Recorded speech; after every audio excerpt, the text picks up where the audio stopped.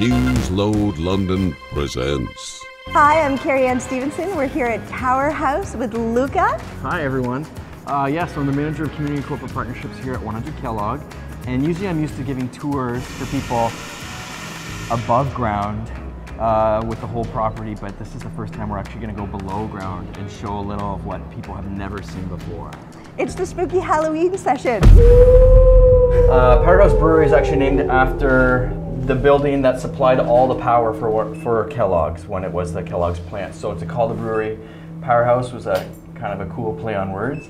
But this tunnel underneath connects us to uh, the other side of the courtyard, uh, where it will go to the new Hard Rock Hotel. But I've never actually been down here before, so we're going to be discovering everything for the first time. Ugh. Oh, the door's kind of sticky. Here we go. All right, right this way, guys. Stay close. Um, is that human? Ba- uh, Waste. do we think it's human? Yeah. Do we think something's decomposed down here? I don't know, but we should probably just step over it. Okay. Ugh. Did you guys hear that? Did you hear that? Did you guys hear that? What was that?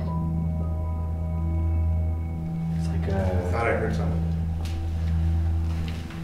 echo. Okay, this part here. Did you hear that? Did you hear that?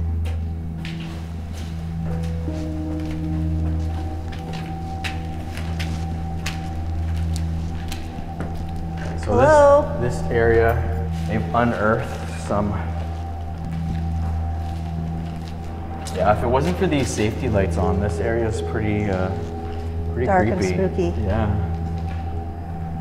But this building was 105 years old before, 110 years old before it closed down in 2014.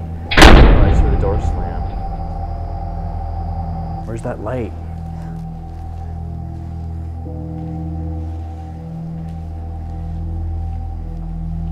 Hello? Watch your step.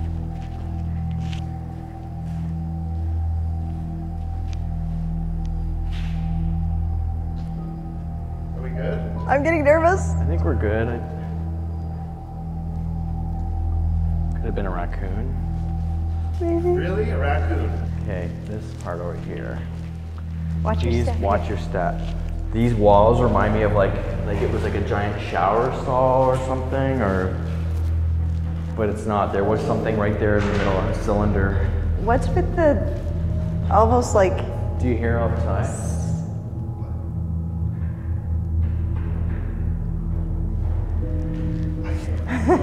I have my limits. I'm not going in the circle. Unless it's surrounded by salt, then maybe.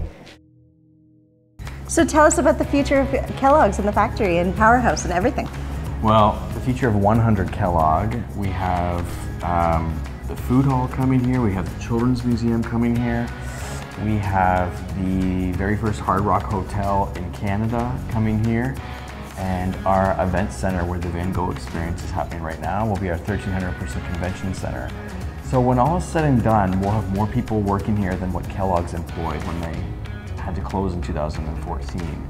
Uh, it's definitely going to be a destination, if not already, and has already named Canada's largest indoor entertainment complex. What's that over there? Help! Help. Why? What the hell, Carrie? What did you get us into? Be careful over there. We saw the word help on the door. So, yeah, there's a- lots of things down these tunnels. This is some pretty cool restaurant equipment. Oh my god, do you see this? Look at that, look at that! What? Nothing there. It was gonna- right there a second ago. This is going to be Carrie, used. what are you fucking with me? It was or a bloody hand. It was in the sink. I saw it. I just looked. We just looked. Like this sink will be used to wash. It was right there. I saw a hand in the sink. I'm not crazy. Can we can we get out of here, please? I'm I'm officially freaked out. Like this is this is officially creepy. No, somebody there was a hand in the sink. I saw it. Can we just go? I've had enough. This is no. This isn't funny anymore. This was the old inventory control room for Kellogg's. So like the flour and everything. Uh, no, so if, if pallets had all the cereal boxes on it, think of like a giant robotic arm that would come down and grab it out and pull it down. So almost like a giant vending machine. Wow. In that sense. There was a forklift driver that didn't have his license, so he shouldn't have been operating the forklift. But back then, people were very, you know, laissez-faire with that kind of stuff as compared to now. And he accidentally ran over one of his fellow employees and killed him in this room. So, but no one talks about it. But apparently, you know about it. Well, I've been told there's some people who feel that they've had a haunting or a, a, a presence when, when they're in this room. Only came into this room to put stuff away from the Christmas market, so I haven't experienced anything myself, but you'd have to talk to some ex-employees, I guess. I don't know. I, I don't feel comfortable being in here right now. What was that?